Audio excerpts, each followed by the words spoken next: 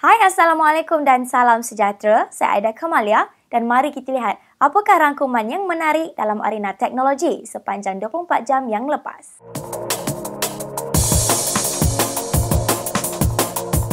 Berita hari ini dimulakan dengan pelancaran telefon pintar Honor 7A di China.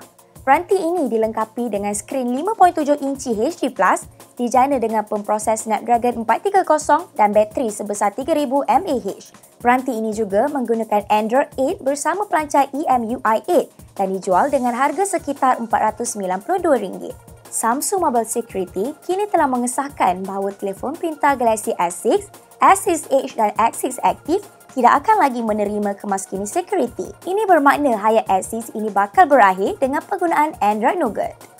WhatsApp pula kini hadir dengan ciri baru di mana ciri ini akan memudahkan pengguna untuk membuat penukaran nombor telefon.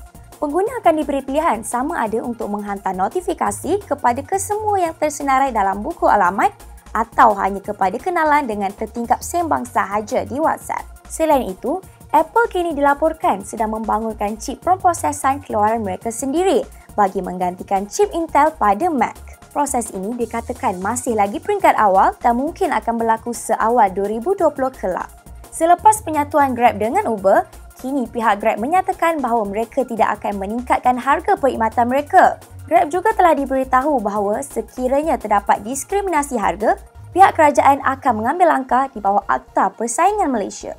Akhir sekali, Honor Malaysia kini telah melancarkan kedai atas talian rasmi mereka di Lazada dan menawarkan diskaun dalam masa yang terhad untuk sejumlah peranti keluar mereka seperti Honor 10 View dan Honor 9 Lite.